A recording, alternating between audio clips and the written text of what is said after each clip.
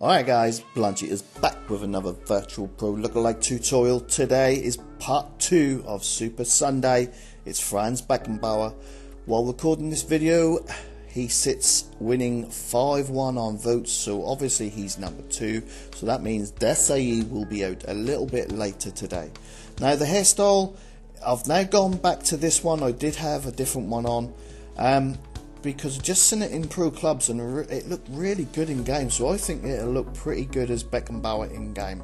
But there you can see his face, guys. But I will just show you the one that I went to before I now used this one. And Jay, I'd already had it on the medium curly. It was the one I had on it, which is that one.